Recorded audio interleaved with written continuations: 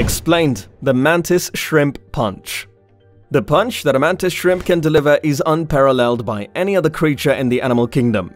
Their club-like appendages have a rate of acceleration that is greater than that of a bullet fired from a cannon, and a single blow from one of these can rip the arm off a crab or burst through the shell of a snail. It has been documented that these diminutive yet powerful crustaceans have triumphed over octopuses. How does the mantis shrimp defend itself with a strong impact? Curious to know more? Now let's get deeper into this. Hello everyone and welcome to our channel. Don't forget to subscribe to this channel and press the bell icon to never miss an update. Let's start the video.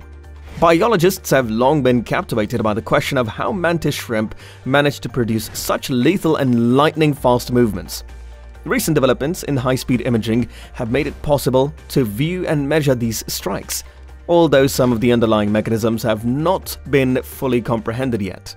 Now, a multidisciplinary team consisting of roboticists, engineers, and biologists have analyzed the mechanics of the punch that the mantis shrimp uses and constructed a robot that imitates the movement. This discovery not only elucidates the biology of these feisty crustaceans, but also paves the way for the development of little but powerful robotic devices.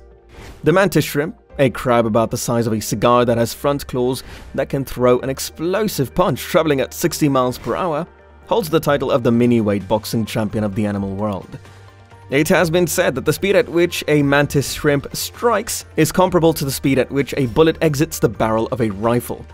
A study conducted by Duke University that looked at the evolution of mantis shrimp over the course of 80 million years revealed how the little animal's fast weapons developed into a bewildering array of shapes while still managing to pack a characteristic punch. These shapes included spiny and barbed spears, hatchets and hammers. According to Philip Anderson, this research gives new information on how these extraordinary movements arose. How can the mantis shrimp achieve their goals?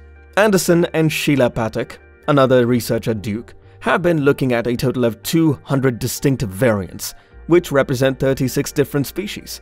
They discovered that these powerful little animals employ a system of biological springs, latches and levers to power their fast punches.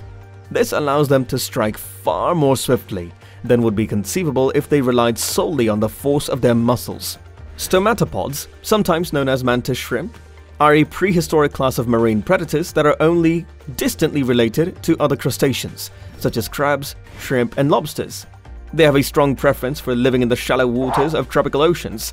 However, there are a few species that can be found in more temperate regions. In spite of the fact that they are commonly known as shrimp or mantids, these creatures are neither of those things. Instead, they are known by their common name of the similarities between them and praying mantises, as well as shrimp.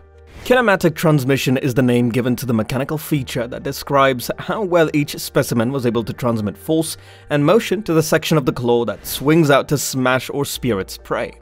The team made precise measurements and calculated each specimen's capacity to do so, the researchers found an evolutionary tendency they call mechanical sensitivity when they mapped their measurements onto the family tree of the shrimp.